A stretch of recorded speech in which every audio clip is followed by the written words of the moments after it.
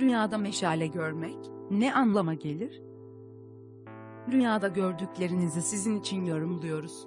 Meşale görmek bir anlam taşır mı? İyiye mi işarettir?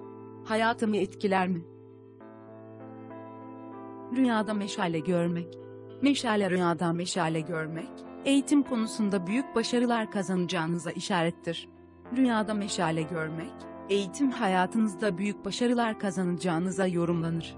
Elinde yanan bir meşale tuttuğunu görmek, hayatta çok başarılı olmak demektir.